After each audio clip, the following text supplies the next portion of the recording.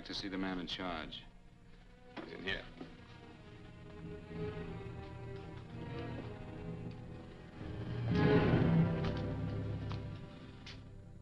I want to report a murder. Sit down.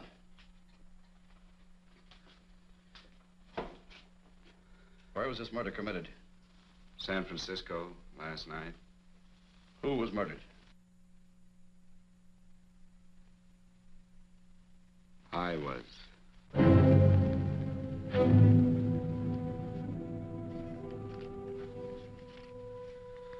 Well, do you want to hear me out or don't you, Captain? I don't have very much time. Your name Bigelow? Frank Bigelow? That's right. Answer the San Francisco APB. Send it direct to Inspector Bannon at Homicide. Tell him we found Frank Bigelow. Ahead, Mr. Bigelow. Well, this involves some other people, Captain. A number of other people. You tell it any way you like. I live in a little town called Banning out on the desert. It's on the way to Palm Springs. I have a small business there. Paula, Yes, Mr. Bigelow. give me a copy of Miss Hollis's 48 tax return, will you? Oh, uh, you better get the 47, too. Yes, Mr. Bigelow. I don't think we took any depreciation on that new equipment last year. No, we didn't. I remember you said we could include it all this year. Sure we can. Hey, Frank, Yeah, well. Peterson says he wants a financial statement before he can give me my loan. Hello, Kitty. I will. Well, I'm leaving for San Francisco today, but I'll be back in about a week. I'll take care of it for you then. Sure is a scorcher, isn't it? Well, I've seen him worse. Well, have a nice time, Frank. Yeah, thanks, Will. Paula, why don't you come down to the place and let me give you another permanent? Makes your hair so much easier to manage in all this heat. I can't afford it right now. Maybe next month. Yeah, here it is. No, we didn't take it. Well, we can do it this year. You work it out any way you think best. Have a nice trip, Frank. Sure, Kitty. See you when I get back. Bon voyage. Uh, why don't you come down anyway, Paula? We'll uh, work out a deal on that permanent. Thanks. Maybe I will. Hello? Oh, hello, Mr. Hawkins. Just a moment. Do you want him to send your ticket over? No, I'll pick it up myself. No, never mind. Mr. Bigelow will pick it up at the station. Bye.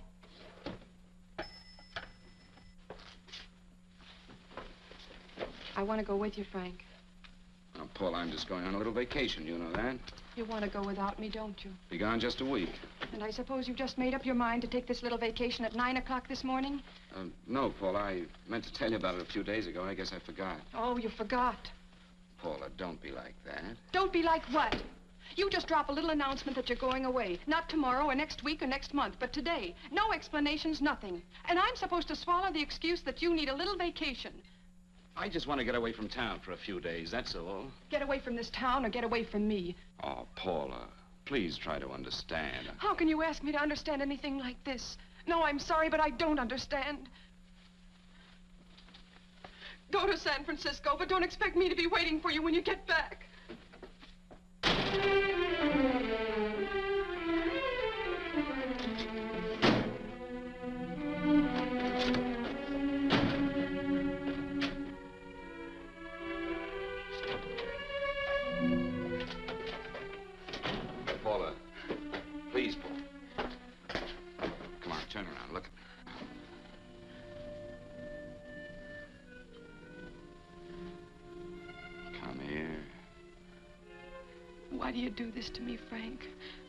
Can't you be honest with me? As honest as I am with you? Do you have to go? I have to go, Paula. I know what I'm doing. All right, go. Go anywhere you like. You can go to blazes for all I care. Paula. Paula. Yes, I know I'm... I'm being foolish. Come here.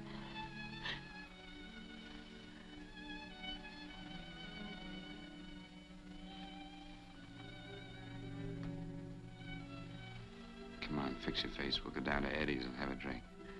All right, why not?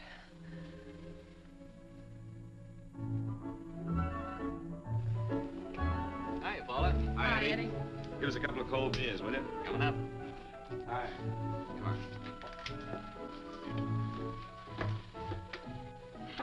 Oh, what a relief. This air conditioning feels good.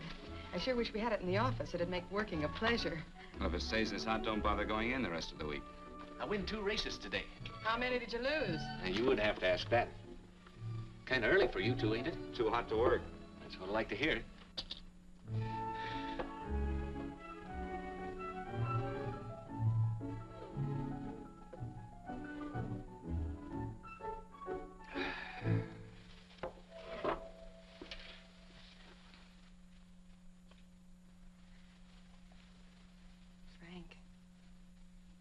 Take me with you, won't you? You will, won't you? Or am I crowding you? What do you mean, crowding me? Maybe you do need this week away alone. Maybe we both do. I know what's going on inside of you, Frank. You're just like any other man, only a little more so. You have a feeling of being trapped, hemmed in, and you don't know whether or not you like it. Look, Paula, I'm going to be honest with you. I care too much for you not to be honest with you. I'm as much concerned for your happiness as I am for my own. I know you've had one bad experience, Frank. I know all about it. But you don't know what it can do to two people, Paula. And the woman always gets hurt more than the man. I don't want you to get hurt, darling. More than anything in the world, I don't want you to get hurt.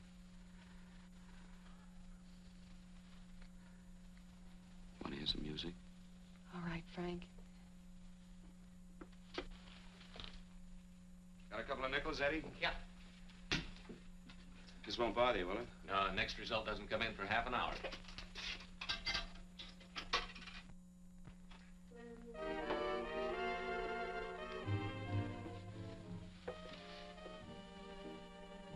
I thought that by now we'd be married. No, I, I'm not going to crowd you anymore, Frank. Go to San Francisco. I don't like it, but I'm convinced that you must go. I want you to be very sure, Frank. If it's right, and I believe it is, we'll have something really wonderful together. If it isn't, we should both know it as soon as possible. So you see, even if I could stop you, I wouldn't do it now.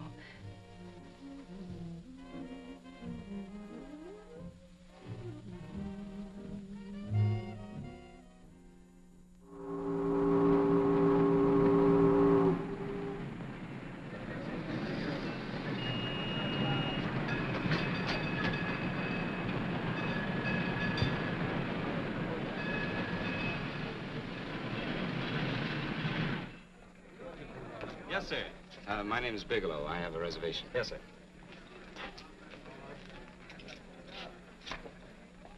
Here we are, sir. Uh, my name is Bigelow. I uh, have a reservation. I have it, sir. It's a very nice room on the sixth floor, facing the bay. Thank Boy, this might help you enjoy your stay, Mr. Bigelow. It's a little booklet on how to have fun in San Francisco. Oh, thank you. Very welcome, sir. Thank you. Say, is it always like this around here? No, this is market week, and it's the last day, too. Boy, always around until you need them. Oh, 517? Thank you. Here's a message for you, Mr. Bigelow. Long distance call came in about an hour ago from Banning, from a Paula Gibson. Oh, thank you. Very welcome. Show Mr. Bigelow to 618. Right this way, Slide.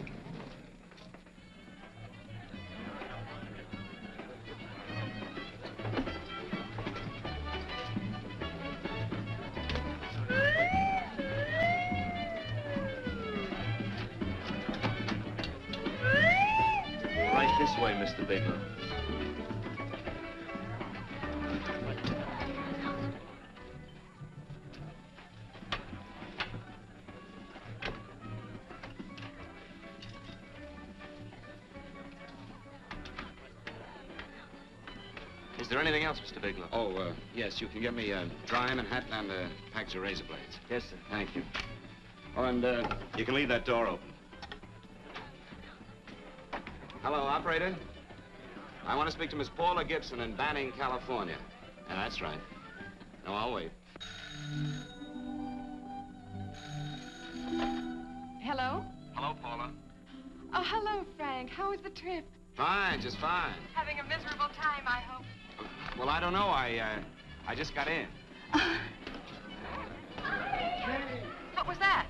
Uh, uh, market week. The place is crawling with traveling salesmen. You know, Charlie Anderson found out that you went away and he asked me to go out with him. Oh, really? How did he make out? I'm considering it. Is that what you called to tell me? I'll have you know that this call is strictly business, Mr. Bigelow. Uh, did a Mr. Phillips phone you? A Eugene Phillips of Los Angeles. No. He will. He phoned the office three times today. Said that he wanted to get in touch with you immediately. He said it's most urgent and imperative that he reach you at once. What did he want? I don't know. But he sounded deep, dark, and mysterious and quite agitated about something. Phillips, Phillips. Have we, uh, have we ever done any business with him? Not unless you've been keeping it a secret from me. I looked through all the accounts. Uh, why did you tell him you could reach me here? You know I'm supposed to be on vacation. So you told me. And so I told him, dear heart. But the gentleman didn't seem to respect your temperamental moods the way I do. He was very insistent that he speak to you before it's too late, as he put it. Well, tell him you tried to get in touch with me and I've changed my plans and you can't reach me. He won't talk to me. I told him that I was your confidential secretary, but I guess I didn't sound confidential enough. So I told him that he could reach you there this evening. Well, call him back. If it's as important as he says it is, he'll talk to you. Otherwise, he'll just have to wait until I get home. My, aren't we adamant this evening? All right, shall do. And Frank, Yeah? I... I don't quite know how to say this. Say what? Well, what I want to say is that there's nothing you can do that you ever have to feel guilty about. Oh. Sure. Thanks, Paula. I'll, uh, I'll call you tomorrow.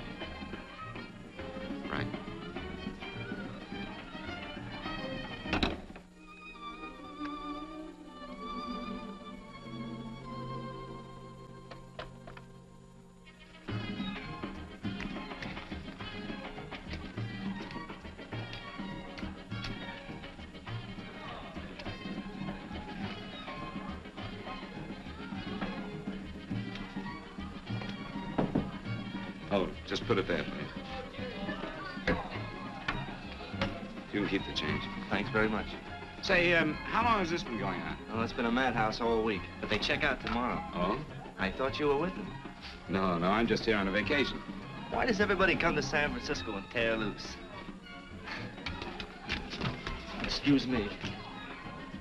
Say, uh, I'm awfully sorry to bother you, but uh, would you mind if I use your telephone? No, no, go right ahead. I'm just across the hall here. One of the boys is using my phone, and uh, he's been on it for a half hour.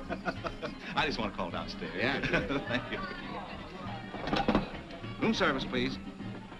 Hey, uh, things really picked up the last few days, didn't they? You right up much business? Well, I'm not here on business. Oh, uh, hello, room service? It's Mr. Haskell in 617. Yes, that's right. Would you send up uh, three more bottles of bourbon and two scotch? Yes. oh, and uh, some more ice, too. Yeah. All right, thank you. You here all alone? Yes, I just got in town. Well, why don't you join us for a drink? Well, I don't want to barge in on your party. Oh, nonsense. It's not a party. Just a few of the boys entertaining some buyers. You know, the usual thing. A few drinks and some laughs. it's no party. Come on. Well, come on, come on, come all on. I know what it's like to be all alone in a strange city. I'm uh, Sam Haskell. I'm Frank. Frank Bigelow. you think some of these guys never been away from home before? yeah. Hey, hey, quiet down a minute. Hey, will you quiet down a second? I want you to meet Frank Bigelow. Hello. This is Jane Carlisle. Hello. Bill Welch. How are you, Mr. Welch? Glad to know you, Bigelow. Jane's the prettiest buyer in San Francisco. Oh, hey, I resent that. You don't think I believe him, Elaine? Well, he spreads that from coast to coast. Oh, gee. Oh, but it's good for my morale anyway. I'm George Cantwell. Glad to know you, Mr. Bigelow. Bigelow, yes. Right on much business? He's not here on business. Oh? Well, Well, why don't you get the man a drink before he dies of thirst? how about a little bourbon? Well, that's fine. Bourbon it is.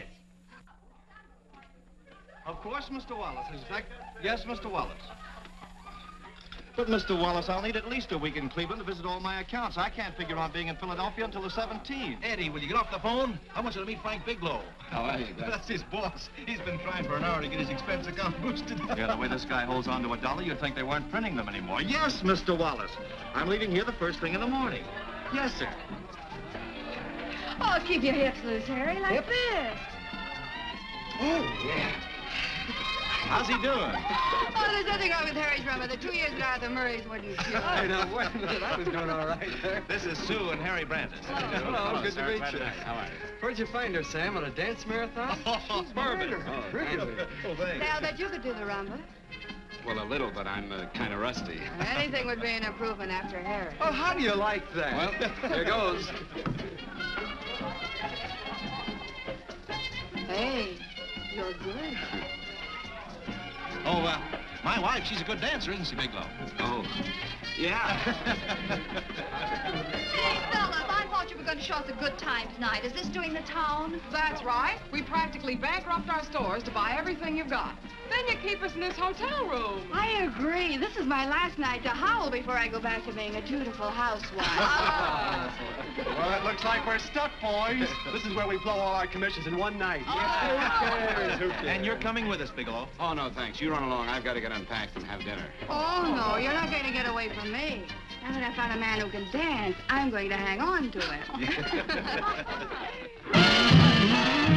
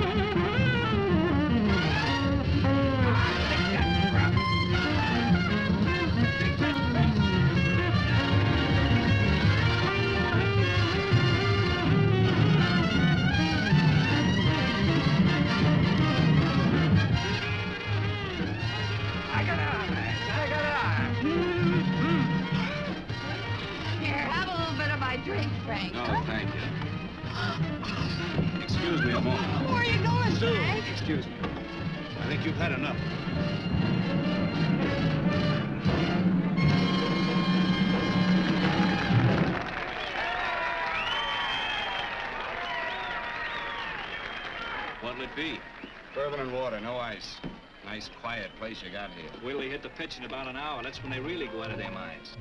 Who's the blonde? Oh, she's one of the chicks that hangs around here. She's jive crazy. Come again? Oh, you ain't hip, pal. Jive crazy means that she goes for this stuff. Just between you and me, I don't get it either, but I gotta listen to it. They're all connoisseurs, music lovers. Me, I like Guy Lombardo.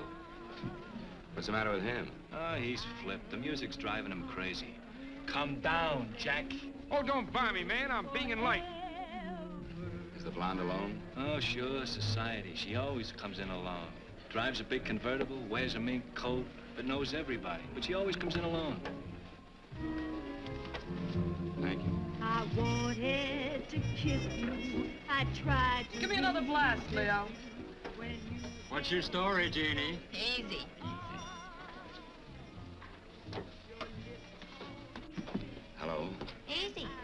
Dig the fisherman. Oh, that's really silk, isn't it? Can I buy you a drink? Sure thing. Give me a blast, Leo. Leo, I left my uh, blast at the other end of the bar.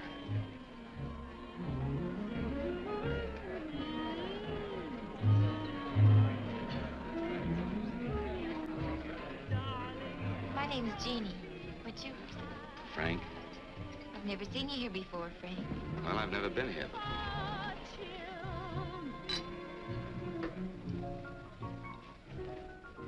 This isn't mine. Mine was bourbon. Well, sure it is. You saw me pour it. Give me a fresh drink. Anything you say. Oh, listen to that piano. Feel those vibrations. You don't get your kicks out of this, do you? I can live without it. Why do you stay here? I don't know. I bet I know. You're lonely in a big city. Why, you don't have to go into a routine with me. I like good company, too.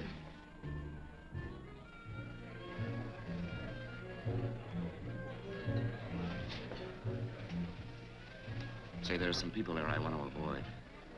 Couldn't we get out of here? Let me think about it. Oh, come on. How about going somewhere else? Huh? Why don't you meet me later? Okay.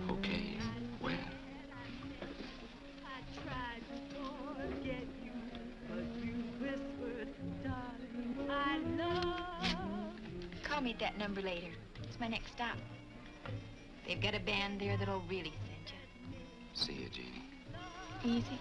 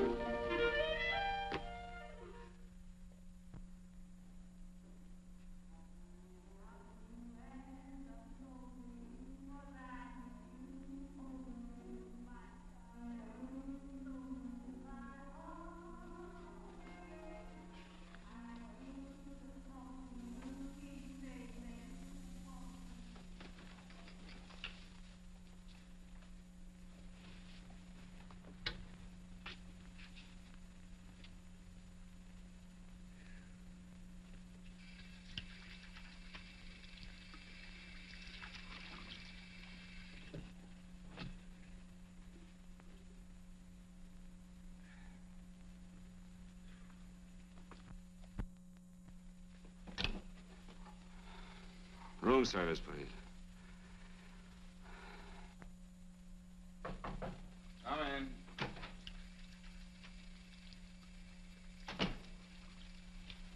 Be right with you, waiter. Yes, sir. Rest well, sir? Yeah, sure. May I? Go ahead. It's on there for you. Thank you, sir. Would you like anything else? No, thank you, that's all. Waiter, Yes, sir. take this away. Is there anything wrong, sir? No, no, just take it away. I don't even want to look at it. Are you all right, sir? Yeah, sure. All right, I just had too big a night, I guess, that's all. I need some fresh air. Of course. Thank you, sir.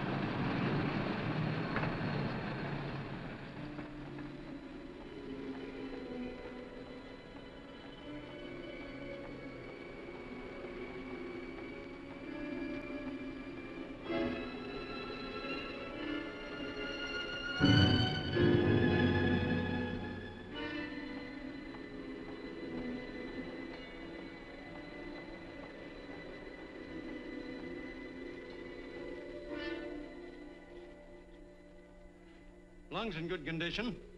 Blood pressure normal. Heart fine. Well, it's a good thing everybody isn't like you, Mr. Bigelow. Put us doctors out of business. I'm glad to hear it, Doctor. I was a little worried. Don't let a little bellyache worry you. Could be just a change of climate. Well, it isn't exactly an ache, Doctor. It's kind of hard to describe the feeling. Maybe it was the drinks I had last night. I might have mixed them too much, huh? Let's have another look at that throat. You may finish dressing now, Mr. Bigelow. I want to get the results of those tests we took. Thank you, Doctor.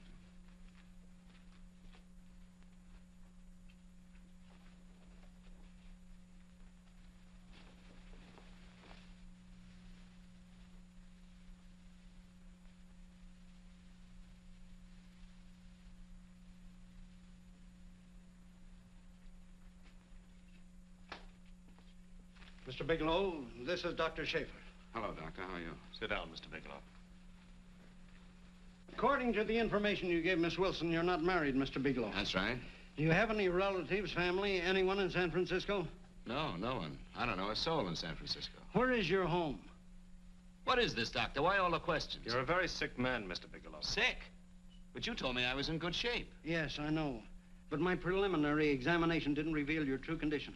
You sound as if it's pretty serious, Doctor. It's extremely serious. I want you to understand that we wouldn't tell you something like this unless we were absolutely certain. Well, of course, of course. You must steel yourself for a shock, Mr. Bigelow. Well, go on, Doctor. What is it you're trying to tell me? Our tests reveal the presence in your body of a luminous toxic matter. What is that exactly? A poison that attacks the vital organs. Poison? We have no alternative but to tell you this. Your system has already absorbed sufficient toxin to prove fatal. I wish there was something that we could do. What do you mean, wish? You mean there's nothing? There is nothing anyone can do. This is one of the few poisons of its type for which there is no antidote. This is fantastic. This is the most Mr. ridiculous Bigelow. thing. You don't have very long. What do you mean? A day, possibly a week. Two weeks at the outside. It's hard to say exactly. Well, this is impossible. I don't believe it. You've made a mistake. That's it. It could be a mistake, couldn't it? You, you have made a mistake, haven't you? Answer me. Dr. Schaefer is an authority on toxicology. Been no mistake, Mr. Bigelow. Do you realize what you're saying? Well, you're telling me that I'm dead. Do you think you can explain my life away in just a few words? Why, I, I don't even know who you are. Why should I believe you? You must calm yourself, Mr. Bigelow. We want to offer you every assistance that we... Assistance? Who wants your assistance? Who wants anything from you? You're nothing but a couple of phonies. Why, I think you're crazy. That's it. You're crazy. The both of you. You're crazy.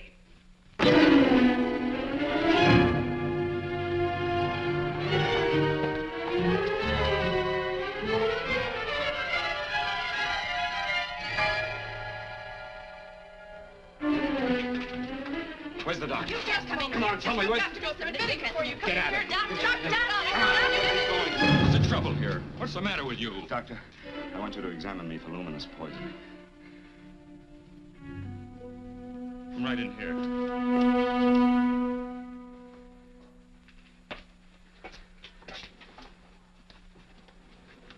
Yeah, you've got it all right. Your system has already absorbed it. Are you sure, Doctor? Are you absolutely certain? Couldn't there be some mistake?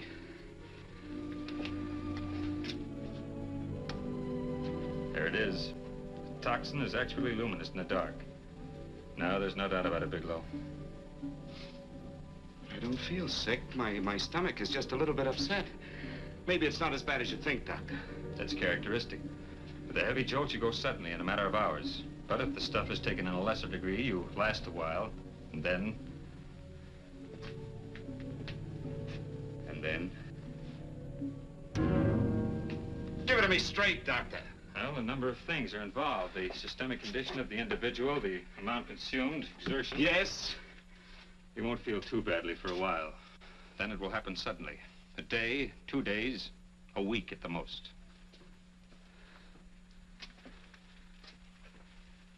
A day. Two days. There's nothing that can be done now. If it had been caught in time, your stomach could have been washed out.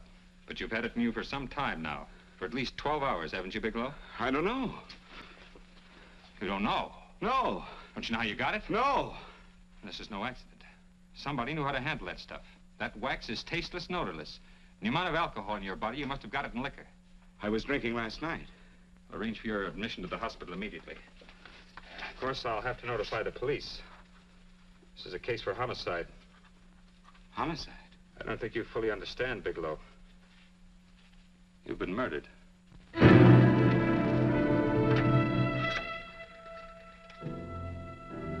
Get me police headquarters, please.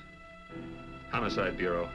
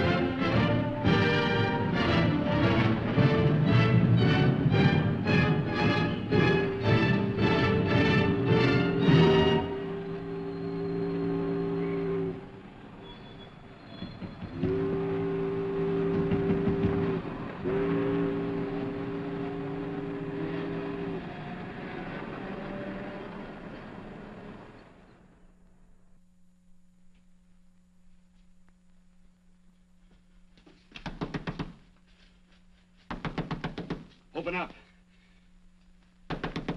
Open this door, I tell you. Open it up or I'll break it down. Where are those men? Where are those men who were here last night? I don't know. There are no men here. Please go away. There's Don't no lie to me. here. Where are they? Mister, this lady just checked in. Those men aren't here no longer. They checked out of the hotel early this morning. Checked out? Please go away. I'm sorry. I'm terribly sorry.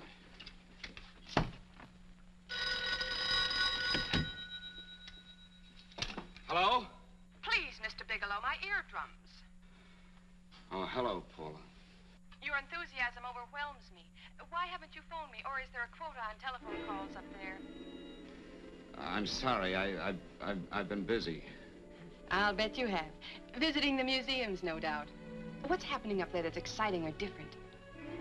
Nothing, not a thing. I'll bet you miss me, but you're too stubborn to admit it. Sure, sure. You know, if you'd like me to come up, I can pack a toothbrush and leave right away. No! Well, you don't have to snap my head off. You could at least make a pretense of missing me. I'm sorry, Paula. Of course I miss you. Listen, Paula, I... Paula, it's, it's just that I, I don't feel like talking now. I'll call you later. Don't strain yourself. You phone me sometime when you feel more like talking. Oh, by the way, I called that Mr. Phillips back. Phillips? Yes, you know, the man that tried to reach you. Well, I'm afraid you'll never know why it was so important that he speak to you. His office said he died yesterday. Frank, are you there? Did you hear me? Died? When? Yesterday. So you won't have to bother your little head about him anymore. You can just go ahead and have fun. Paula, what did he die from? Do you know? I suppose he died from whatever people usually die from. Well, didn't they tell you? Don't you know? What are you getting so excited about? You said you didn't even know the man. Listen, where's his office located? What difference does it make? You can't talk to him now. I told you the man's dead. Paula, will you stop talking so much and tell me where his office is? All right. It's the uh, Phillips Importing and Exporting Company, Bradbury Building, Los Angeles. Bradbury Building, Los Angeles. That's right. Say, this is really a switch. Listen, if you want to reach me, I'll be in Los Angeles. Are you out of your mind? I'm sorry, Paula. I've got to hurry. Wait a minute. Where in Los Angeles? The Allison, the Allison Hotel. Goodbye, Paula.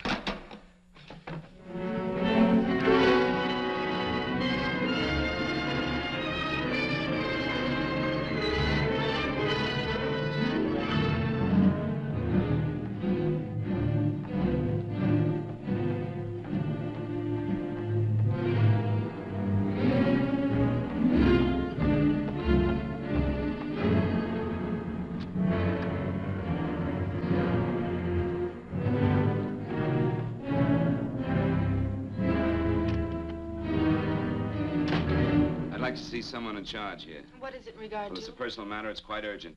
Perhaps Mr. Halliday can help you. Who's he? He's our controller. Your name, please? Bigelow.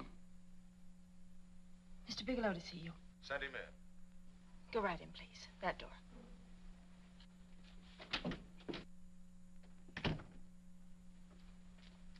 Mr. Bigelow, How are you, Mr. Halliday?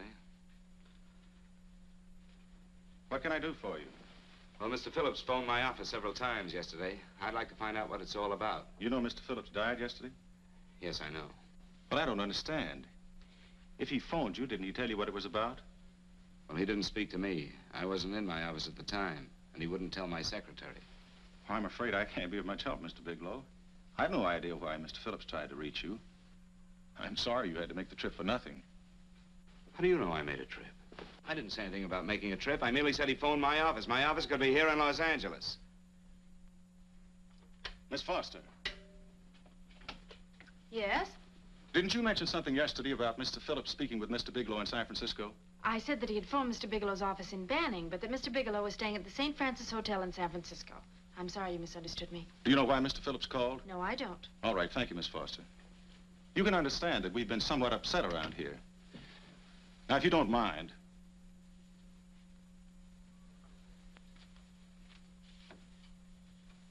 Did Mr. Phillips have a wife, family, anyone that could help me?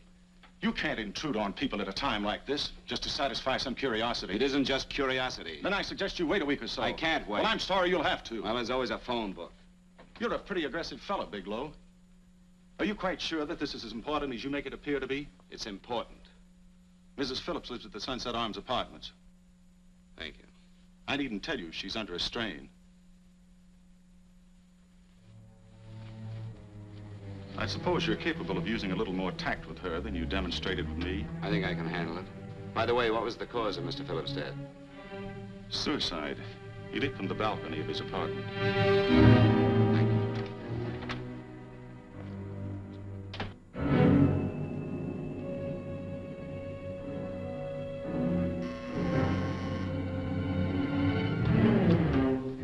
Come in, Mr. Bigelow.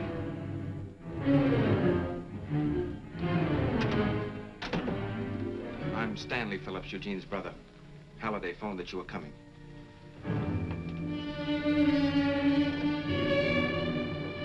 This is my sister-in-law, Mrs. Phillips.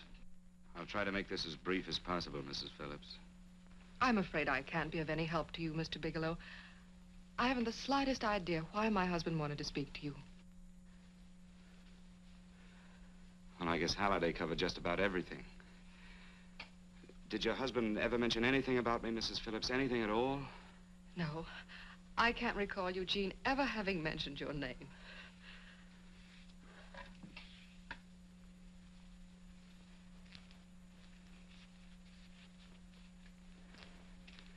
I hate to ask you this, Mrs. Phillips, but it's of vital importance to me. Do you know why your husband committed suicide? Oh. oh. You're certainly not the most diplomatic person in the world, are you, Bigelow? Were you a friend of my brother's? I never met him.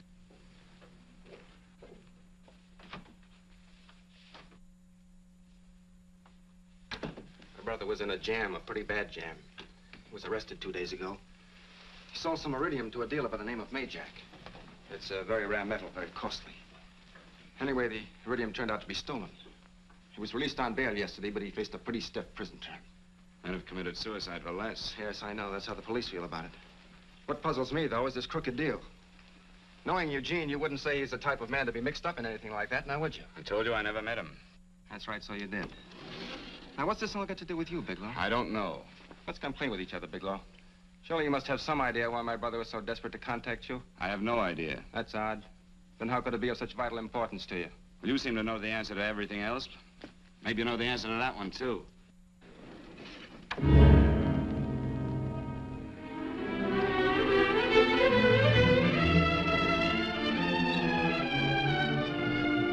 There's a message here for you to call operator 82 at Banning.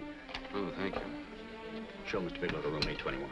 Say, would you have the operator put this call through to my room right away? I'll take Yes. it up there. Thank you. Hello, operator. Here you. I'll call you if I need anything. Thank you, sir. Hello, Paula? Well, Sinbad, I'd just about given you up for lost. Now, do you mind telling me just why you rushed down to Los Angeles? I, I can't explain it to you just now, Paula. I, I just can't explain it. What's going on, Frank? You don't even sound like yourself. Well, I'm... I'm just a little tired, Paula, that's all. But I miss you. Oh, Frank. I can't tell you how good it is to hear you say that. And here I was worrying that I'd lost my charm. When are you coming home, Frank? Soon, Paula. I'll be home soon. I'll go right out and get myself a permanent so I'll be pretty when you see me. Hey, guess what? I found that Phillips name in your notarial ledger. Notarial ledger. Yes, of all places. I remember now I made the entry myself. You had notarized a paper one morning before I came to work.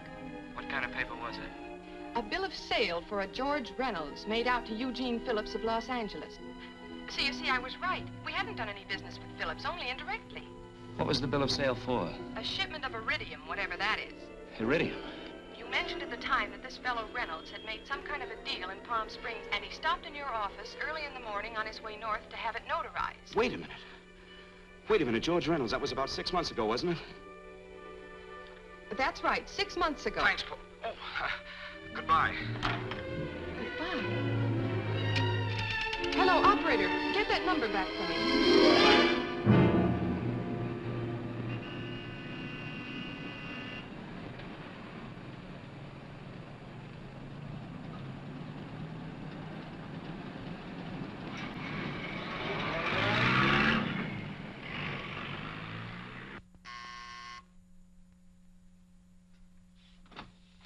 I've got to talk to you, Mrs. Phillips. Please, go away. I want to be left alone. But I found out why your husband wanted to see me. It was in connection with a bill of sale. Come in. Thank you. What do you know about a man named George Reynolds? George Reynolds? Yes. Why, that's the man my husband claimed sold him the iridium. And what did Reynolds claim? Reynolds disappeared. Yes. About two months ago, my husband grew suspicious that something was wrong. Since then, he tried in every way to locate Reynolds, but could find no trace of him. But I don't get it. Your husband could have proved he made a legitimate deal by showing the bill of sale he got from Reynolds. Then there was a bill of sale? Yes, yes, of course there was. Oh, my husband swore there was, but at the time of his arrest, he, he couldn't find it. It was mysteriously missing. Well, then, if your husband could have shown proof, it would have been George Reynolds who would have faced the prison term. Eugene was convinced that Reynolds had stolen the bill of sale. He was the only one who had reason to eliminate evidence of the transaction. Thank you, Mrs. Phillips. Thank you very much. You've been very helpful. Oh, if you'd only come sooner, Mr. Bigelow. My husband might be alive today. I know.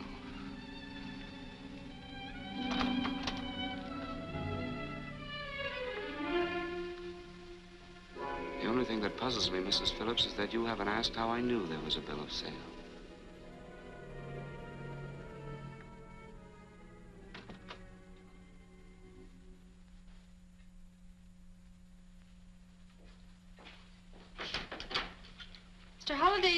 Should be back shortly. I think you're the one who can help me, Miss Foster. Mr. Phillips tried to reach someone else before he called me yesterday, didn't he? Why don't you ask Mr. Halliday? Obviously, Mr. Halliday wasn't here yesterday, or he wouldn't have had to learn from you that Phillips called me. And you're the logical person to know who else Phillips called. I don't believe that's any of your business, Mr. Bigelow. Don't think you're revealing anything confidential, Miss Foster. I know that he tried to reach somebody else. Mrs. Phillips told me. You're bluffing, Mr. Bigelow. I don't know what you're after, but you're trying to trick me. Mrs. Phillips didn't tell you a thing. How do you know that? Mrs. Phillips knows nothing about it. She doesn't. Well, why wouldn't she? Wait a minute. I was talking about George Reynolds. Who did you think I meant? Just who is it that Mrs. Phillips doesn't know about? I told you before, that's none of your business. All right, young lady, I'm going to give it to you straight. Phillips was murdered. Murdered? I don't believe you. He told You're me because he needed me to clear him. Phillips was innocent. Innocent men don't have to jump out of windows. Murdered? Just who are you trying to protect, Miss Foster? Why are you so afraid to tell the truth? I'm not protecting anybody. I haven't any more to say. All right, young, li- listen to me. This thing is going to explode wide open. If you've got nothing to hide, you better start talking. Or maybe you are mixed up. No! Well, then come on. Mr. Phillips called Marla Rakubian. He went to see her yesterday morning. Who's Marla Rakubian? She's a model.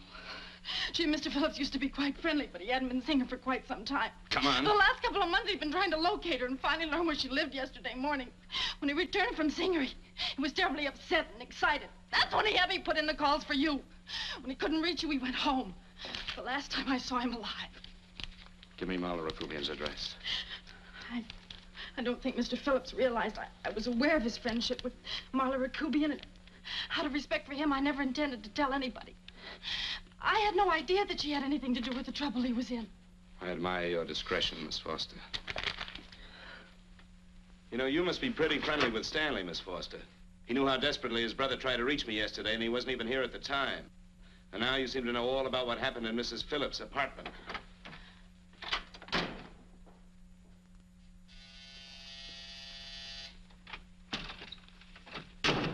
Miss Rakubian? Yes? What do you want? Get out of here or I'll call the Go police. Go ahead, call him. Oh, go ahead, call him. Going on a trip, huh? Yes, going away for the weekend. Sailing for Buenos Aires tomorrow, some weekend. I'll send you a postcard. Now get out of here. Who are you going with, George Reynolds? Never heard of him. I suppose you've never heard of Eugene Phillips either. Just who are you? What do you want? Never mind who I am. Where's Reynolds? I told you I don't know him. Now will you get out of here and leave me alone?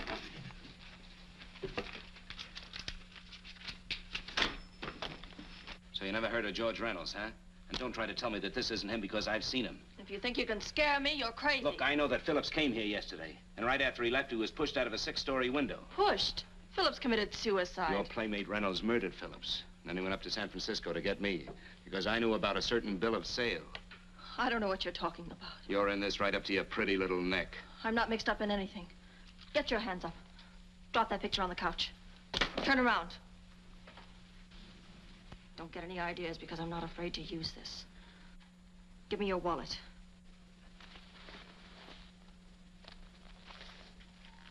Frank Bigelow, Hotel Alex. All right, now where's Reynolds? I don't know. I don't know where he is. Is that what you told Phillips yesterday? I told him exactly what I'm telling you. I haven't heard from him in months. Yeah? You're mighty careful of the picture of a man you haven't heard from in months. What does the Ray stand for? It was a, a pet name. Do you mind? Oh, sounds very cozy, Miss Rakubian. You and Reynolds call each other pet names while you make a sucker out of Phillips. Phillips made the deal because he wanted it. Yeah? I'll bet you you weren't above using what it takes to help make him want it. Who's paying for this trip? I am. Really? A first-class trip to Buenos Aires on a model salary. Don't make me laugh. Since you and Reynolds aren't seeing each other anymore, you don't mind if I keep this, do you? If I were a man, I'd punch your dirty face in. Really believe you would. Oh, I almost forgot. Your tickets. Don't be surprised if I'm there to see you off.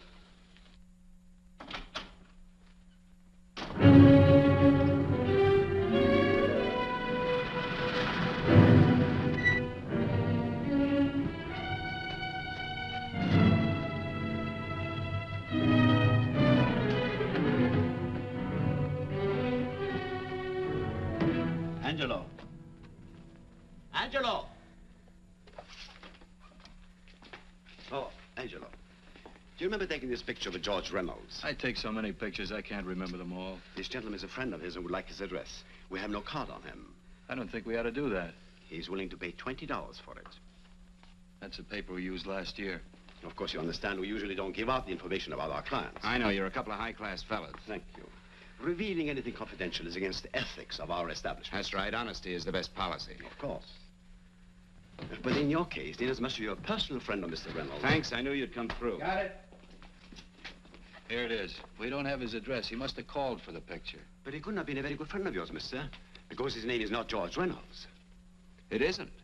Well, what is it? It's a... Oh, huh? Oh. Yes. It's Raymond Rakubian. Rakubian?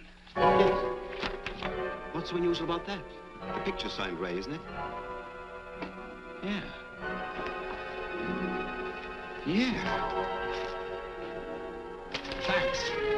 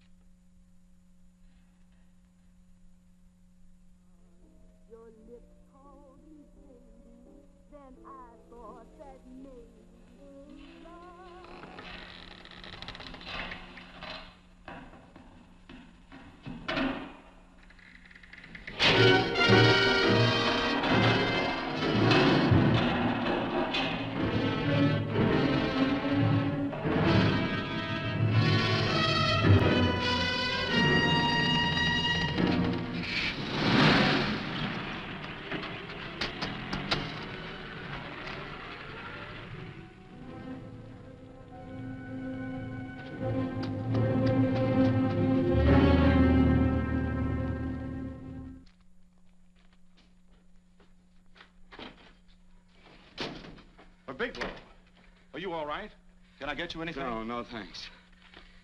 Do you know this man? No. No, I don't think so. Are you sure you've never seen him? I'm quite sure. Does the name Raymond Rakubian mean anything to you? No, I never heard of him. Why? He also uses the name George Reynolds. This is Reynolds? That's right. Well, where can we find him? That's what I want to know. Tell me something, Halliday. You're the controller here. How come you didn't know about that bill of sale? Phillips made that deal before I came to work here. Yeah, but you still keep records, don't you? For some reason, which is none of my business, Phillips preferred to keep that among his personal papers. Now, does that answer your question? You came in here today asking for some information that you needed, and I tried to be as cooperative as I could. But now you're beginning to annoy me. So get out before I throw you out.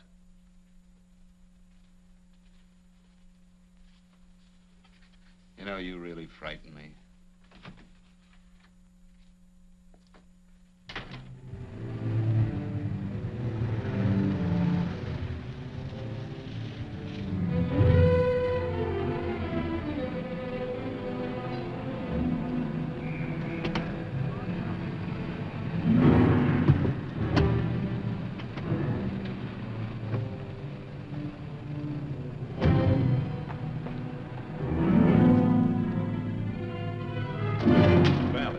Time you showed up, Bigelow.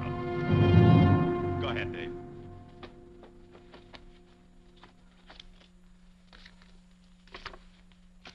Real cute, ain't you, Bigelow? Just real cute. Paula didn't lose much time getting a hold of you guys, did she? Shut up. Let's go, Bigelow. Look at him. He can't take it. Soft in the back. You do that again and I'll kick your face. Lay off, Chester. Cut it out. Shut up! Who asked you? Better let him answer. The clerk might know he's in. Go ahead, Bigelow.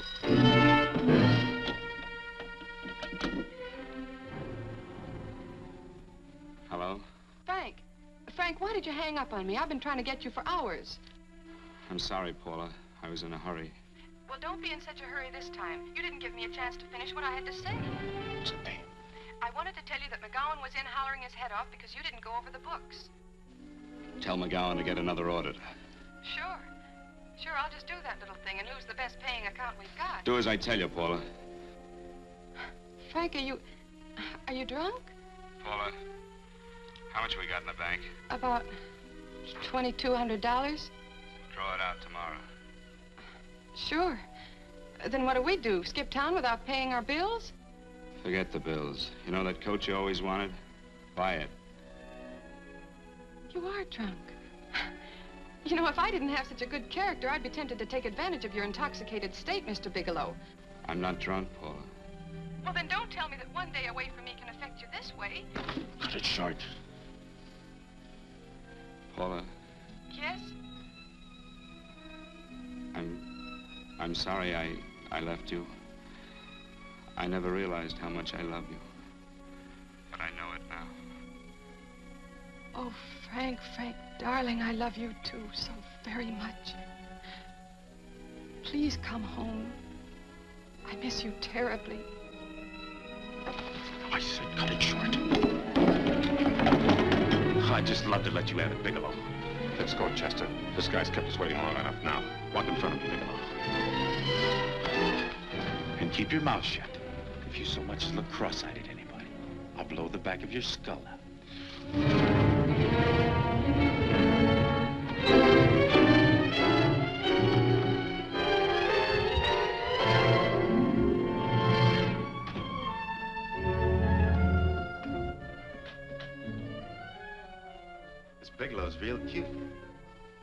Tough with Chester. He don't know Chester. Did you get the picture? Don't I always get what Mr. Majak sends me after? Majak. That's right. I'm the dealer who bought the iridium from Phillips. I get it. You have Rakubian unload stolen stuff on Phillips with the help of Marla here, and then you buy it back from him. Oh, you certainly made a sucker out of Phillips. What is it, Mr. Bigelow? Exactly what is on your mind? I'm looking for Raymond Rakubian. Why? Well, now, Marla here has told you everything else. I'm sure she must have told you that, too. You don't expect me to believe this conversation. So, what is on your mind? I mean, underneath. You forced your way into my affairs, and now I want to know why. I just told you. I'm looking for Raymond Rakubian. Don't get cute. I'm just itching to work you over. Soft in the belly. Can't take it. See what I tell you?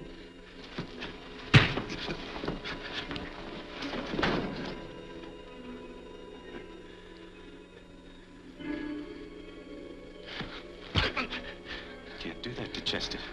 I'm gonna blow your guts out. Easy. Lay off, Chester, not now. Look at him. He's so scared of Chester, he talk now. He's not afraid, Chester. You can tell from a man's eyes when he is afraid. Look at his eyes.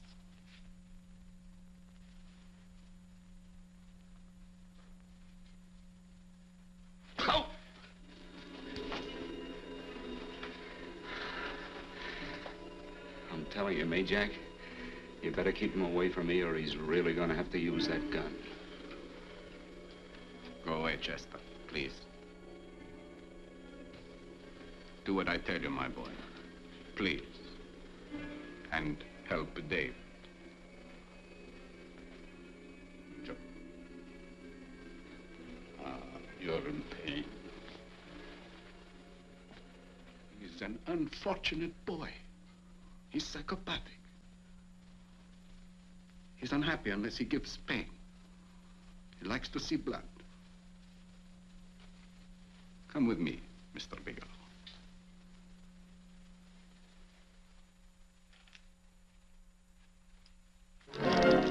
Raymond Rakubian was my nephew. He could not possibly have tried to kill you. He's been dead five months.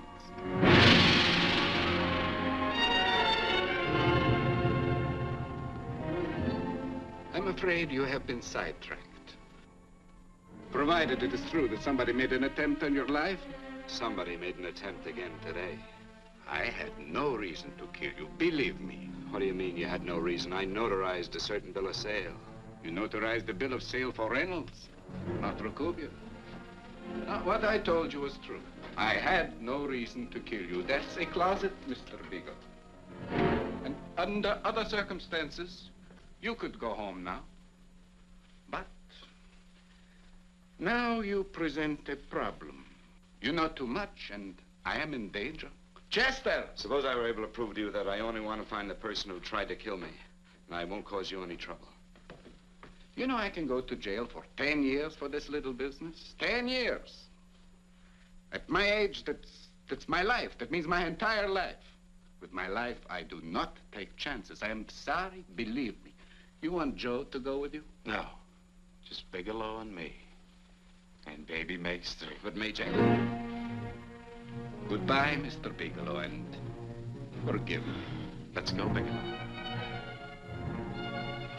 I guess you won't be there to see me off.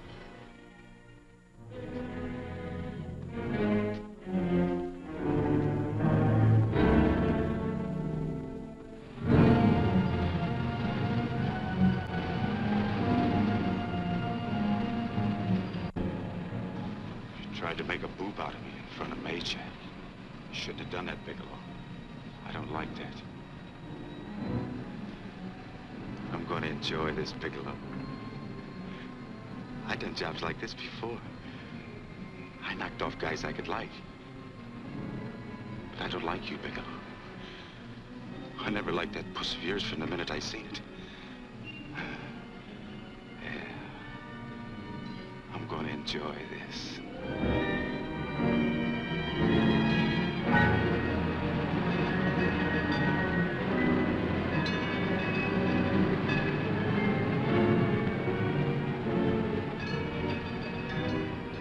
Scared yet, are you, Bigelow? But you'll be scared. Good scared. I think I'll give it to you in the belly. You don't like it in the belly?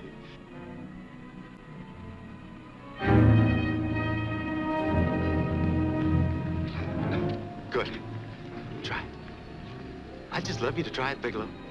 Why don't you try? Go ahead.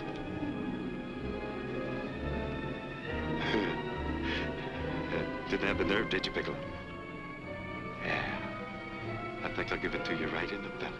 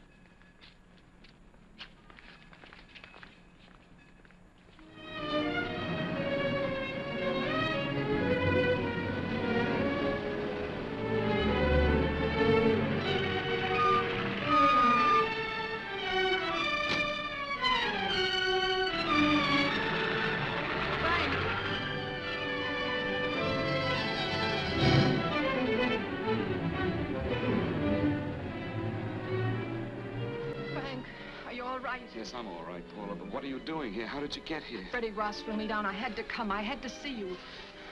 You shouldn't have come, Paula. You shouldn't have. What is it, Frank? You're in some kind of trouble. I know it. Look at you. You're a sight. Your clothes look as if you've slept in them. Are you ill? You are. You're feverish. I'm all right, Paula, and I'm not in any trouble, believe me. You're lying, Frank. Right after I spoke to you, I got a phone call from the San Francisco police. They asked if I knew where you were. You didn't tell them anything, did you? Of course not. It was the homicide detective that called. What is it, Frank? If you're in any kind of trouble, you certainly can trust me. Look, I'm not in any trouble with the police, Paula, believe me. But you can't stay here. You've got to go back to Banning right away.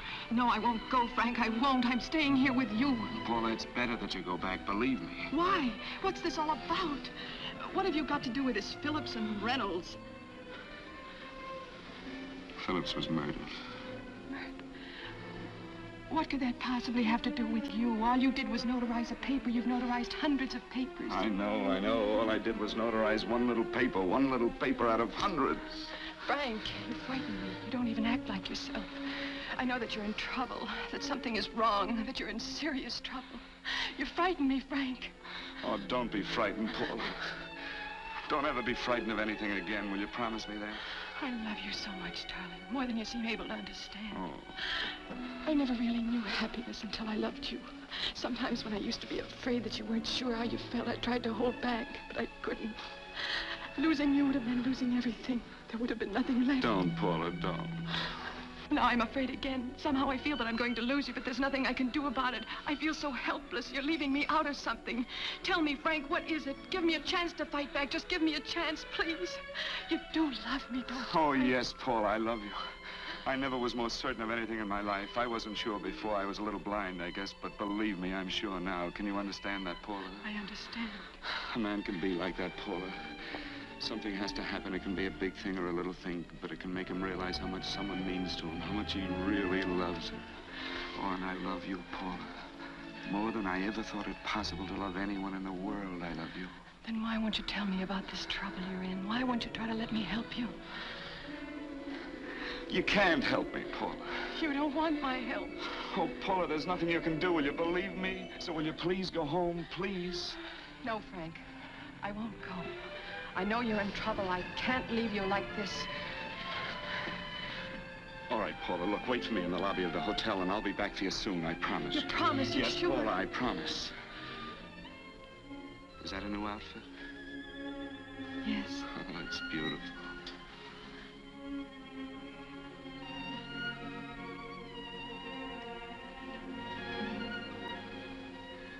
You'll come back to me, won't you, Frank? Yes, Paula, I'll come back, I promise. Please hurry, darling. Oh, I love you. I love you, Paula.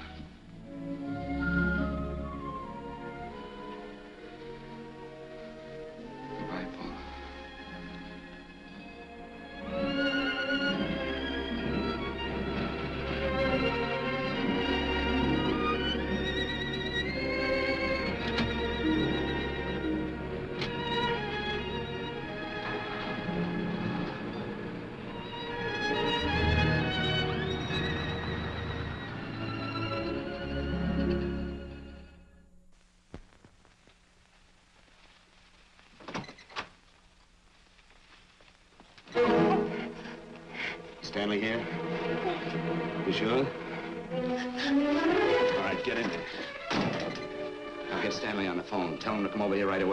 Excuse you want. What are you going to do? What was Stanley going to do when he used me for a clay pigeon today? I don't know what you're talking about. Don't act innocent with me. I fell for that once. I don't know what you mean. I told you everything you wanted to know this morning. Yeah, you told me just enough so I'd get sidetracked and wouldn't know that Stanley was the one I was after. Stanley. Oh, no. You and Stanley have been together on this from the start. Now, come on, get on that phone and call him. Don't let him know I'm here. Bigelow.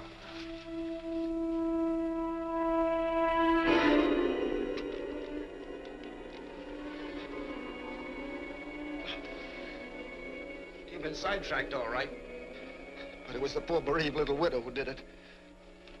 Miss Foster found this letter this afternoon. It's in my brother's desk at the office. It's, it's postmarked two years ago. It isn't exactly the kind of a letter that a married woman gets from a casual friend. I'm sure my brother wasn't aware that they were so well acquainted when he hired Halliday. What's the matter with him? He hasn't felt right since dinner. Where did he have dinner? At Mrs. Phillips' apartment, Halliday was there too, and Stanley confronted them with that letter. Did you have anything to drink? Yes, why? How long ago? Half an hour ago, just before I came here. Miss Foster, get on the phone, call the emergency hospital. Have them get an ambulance over here right away. What? Tell them to prepare a stomach wash for luminous poisoning. Luminous poisoning? Go on, do what I tell you. You may still have a chance to save his life. But I... Go on.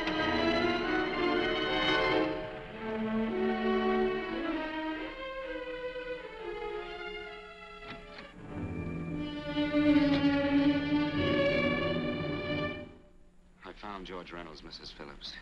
He's been dead for five months. Then he didn't steal the bill of sale. No, he didn't. But you could have stolen it. How dare you?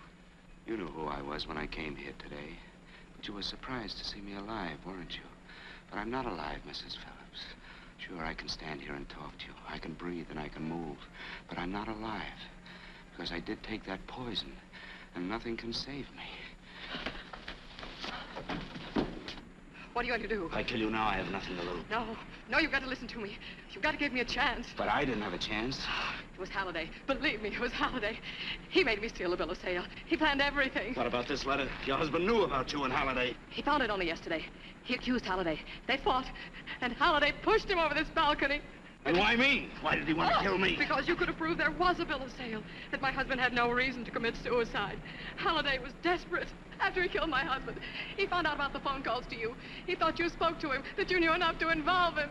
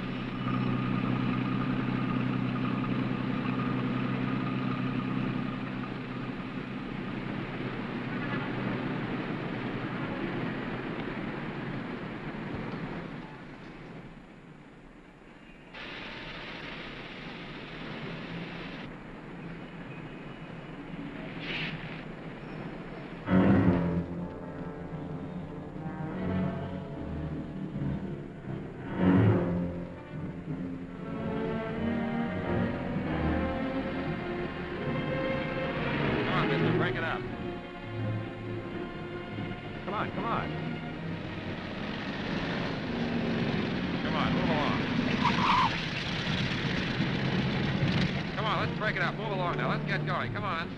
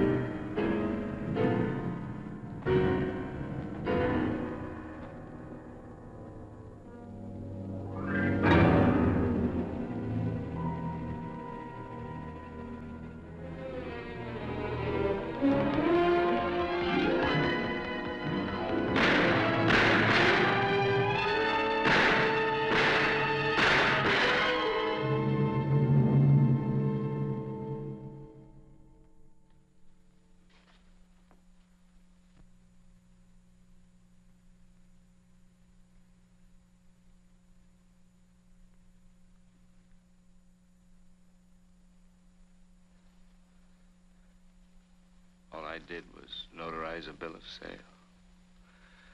But that piece of paper could have proven that Phillips didn't commit suicide. It was murder. And that's why Halliday poisoned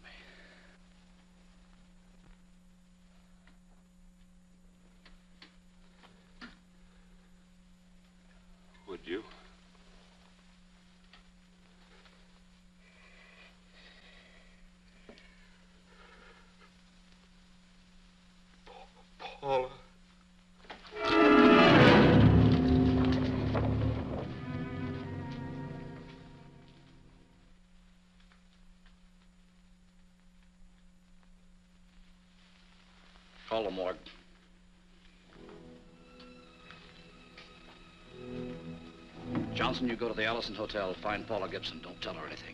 I'll break it to her.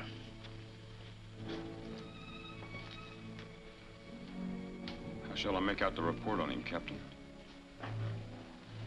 Better make it dead on arrival.